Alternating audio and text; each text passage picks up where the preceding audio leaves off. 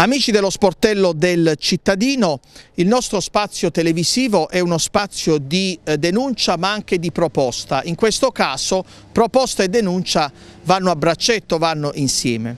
Andiamo in medias res. Ci troviamo a Taranto, eh, nelle vicinanze del Ponte di Pietra, alle spalle del Gambero, del ristorante Il Gambero, di quello che era il Gambero, nella zona in cui vengono, avvengono i, i lavori sulle barche, barche eh, rigorosamente in legno e l'opera, l'attività degli antichi maestri d'ascia. Una tradizione quella appunto di realizzare le varie barche in legno o eh, dicevo di ripararle. Un'attività che fa parte del patrimonio storico della città di Taranto.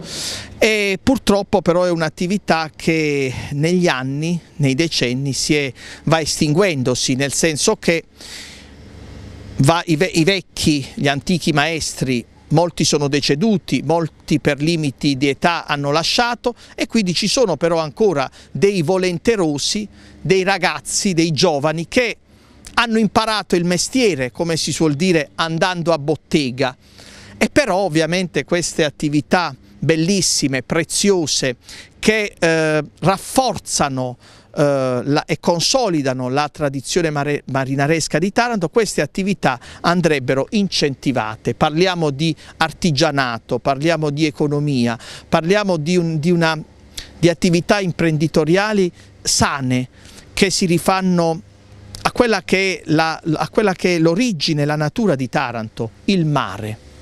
Vedete, l'appello agli enti locali, alle organizzazioni di categoria, a far sì che questi eh, operatori del settore che vanno, ripeto, estinguendosi, ricevano aiuti per far sì che le loro attività eh, possano davvero prendere ossigeno, prendere fiato.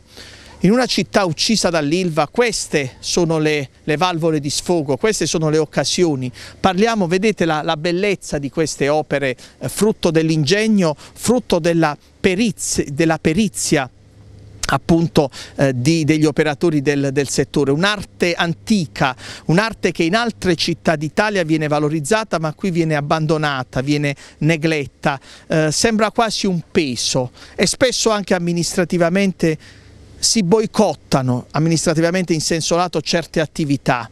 Beh, io dico che questo è il futuro di Taranto. Pensate eh, quanti giovani, quanti ragazzi, soprattutto della città vecchia, non solo potrebbero imparare questi, questo mestiere, imparare questo mestiere, crearsi un lavoro, crearsi un'attività, portare il pane a casa ed evitare che si possano prendere brutte vie, che si prenda la via della, della, della, della delinquenza, della, della devianza. Però le istituzioni devono fare la loro parte e finora non l'hanno fatta affatto.